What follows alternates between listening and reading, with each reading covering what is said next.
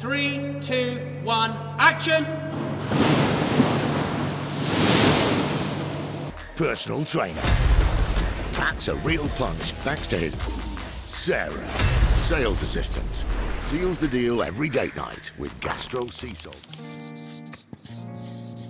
So this is the Young's fish food commercial and it's basically a comedy script. It's taking the absurdity of like someone in a domestic situation, you know, like an everyday person and putting them into some extreme natural phenomena. So it's this kind of grandeur of this massive wave coming up and, and washing over this person in, in, in kind of everyday clothes. I'd like to start by thanking Trevor Robinson, the director, Alex Aziz, the producer, Quiet Storm, the production company, and Young's Fish, the client. So without their support, none of this would be possible. It's rare to get access to a film set like this. Um, this is a big commercial, big, you know, big client, Young's Fish, you know, very established production company, Quiet Storm. It's very rare to get that kind of access. Uh, Trevor Robinson, the director, is a bit of a legend. Uh, he's been in the industry from, you know, the early 90s. He set up Quiet Storm. At the time when he set Quiet Storm up, it was the first production company stroke agency to exist. Um, it's something that now people are starting to kind of realise, uh, cotton, cotton onto, but back then it was completely unique. He was total trailblazer. Um, and he's known for his philanthropy and I think in a way that's why he allowed us in because he's always you know he's done a lot of work himself in supporting kind of young uh, you know minorities getting into the film industry. So we have a, a whole rig behind this green screen that's going to produce a, a, real wave and then we have our artist that's going to be standing on some rocks there and a wave washes up behind them, rises up, crests and then falls we want to catch that with a motion control move going in from a, a total shot to like a close-up. So that's kind of the shot we're producing here on this stage. Next door we got some sets built for the serving scene and then the last day we reduced the whole crew down to just the food shots. So it's got it's like three tier operation. The big effect shot, domestic interior set builds and then the precision food shots.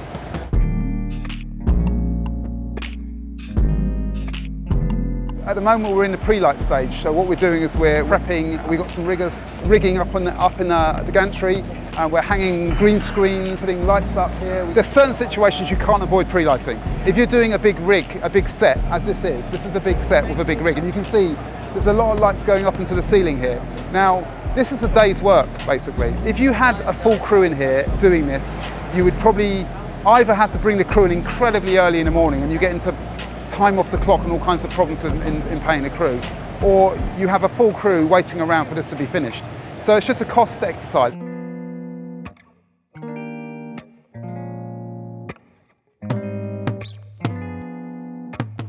So what you want to try and do is limit the amount of people on set doing nothing. It's for me to talk producers into ways of saving money in terms of how the lighting is going to be conducted. So if I can see something that's going to benefit from a pre-light, then I'm always going to suggest a pre-light.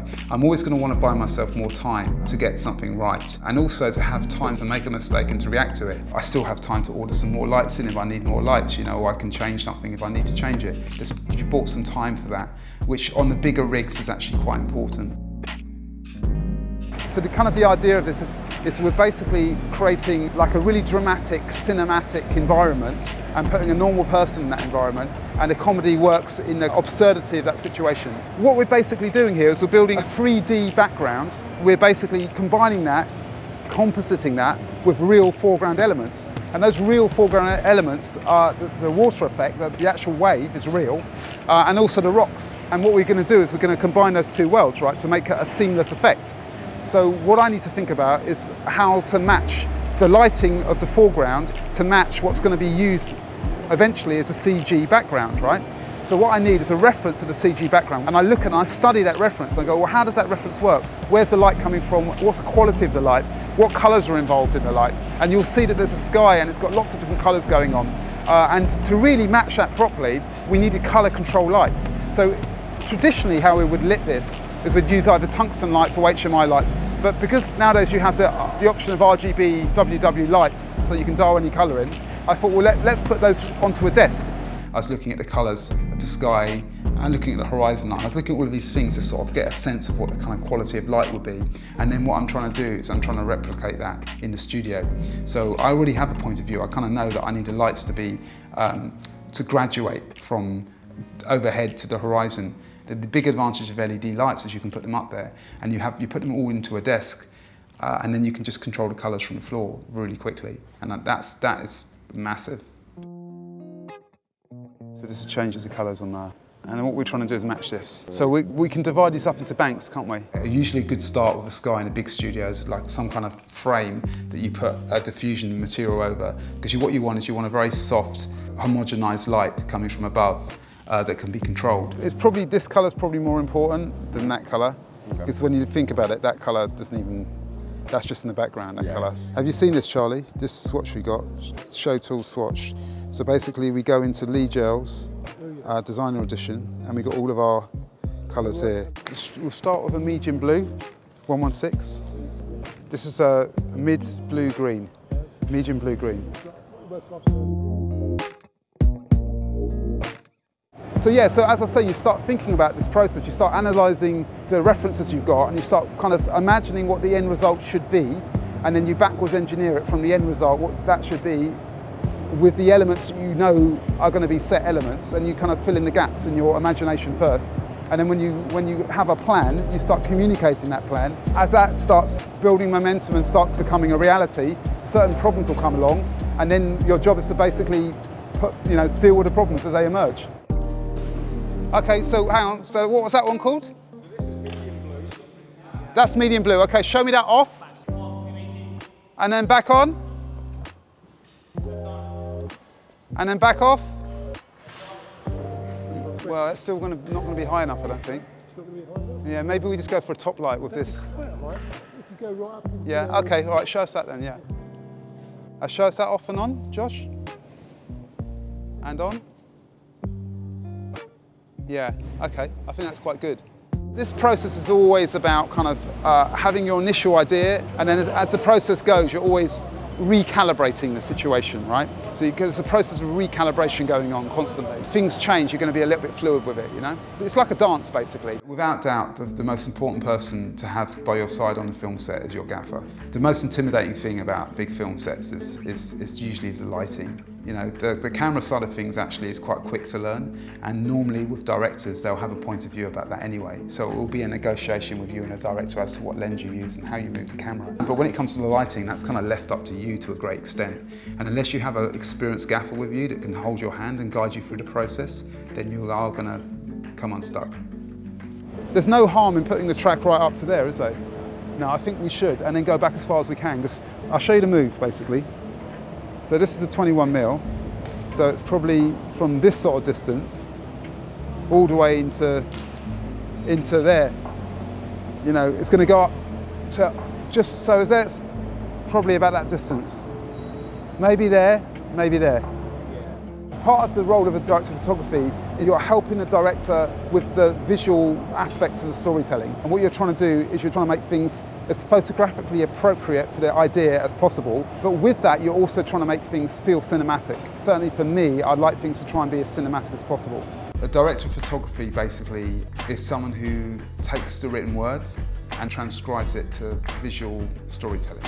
You could say that a cinematographer is a visual psychiatrist. It's like someone who understands how to manipulate an audience by virtue of visual imagery. Ready, and three, two, one, action!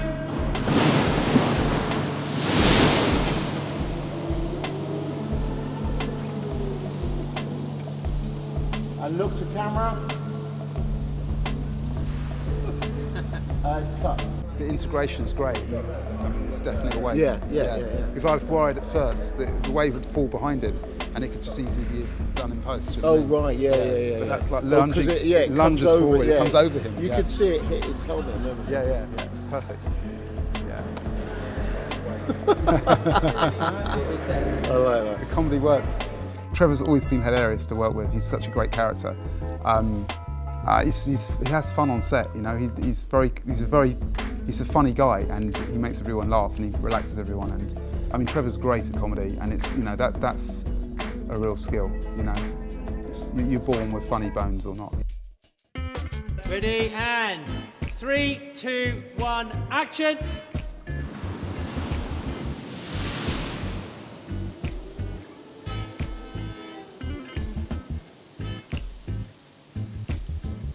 Three, two, one, action!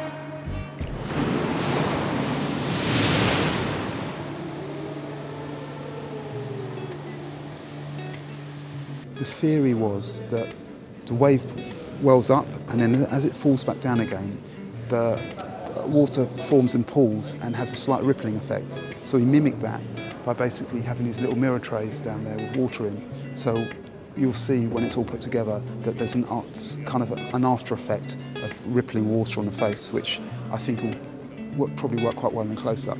And then once we got our artist in there, we realised that the light was a little bit flat on the artist. I'm always trying to find a way of creating as much shape in the set as possible. As cinematographers, our primary role is to take a two-dimensional situation and make it feel as immersive and three-dimensional as possible. So the problem with this shot, obviously, is we're starting quite wide and we're ending quite close. So what we have to do is we have to make a, a realistic representation of the light for the wide shot, so the wide shot feels naturalistic, but then also when you, it carries you into the close-up, the close-up should look like it has enough shape and interest on the face and the artists look um, cosmetically good, you know.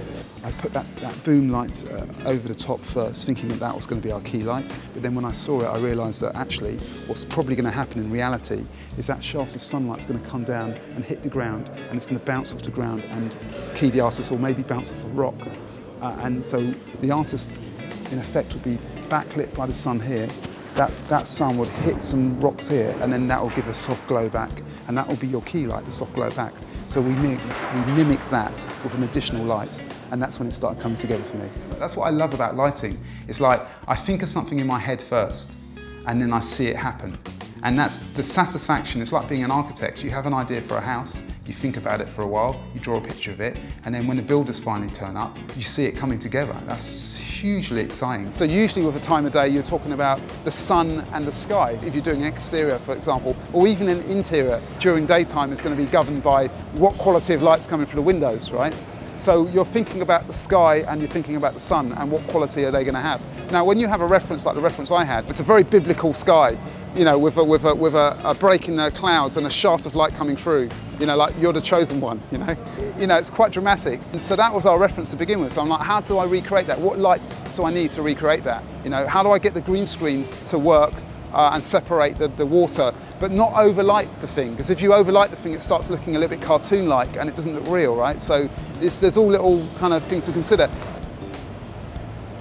Light is a fascinating, mysterious energy and, and you know sometimes what you think is going to work doesn't work and that's that's why I'm still doing it 25 years later because it's still to me so fascinating.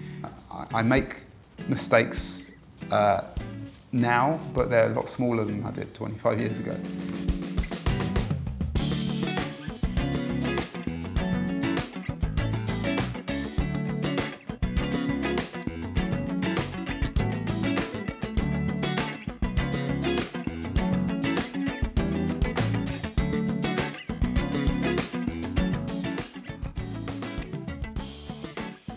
If you want to know more about lighting, go to my Instagram. Uh, we do a series called Set Notes where we break down all the lighting on a film set.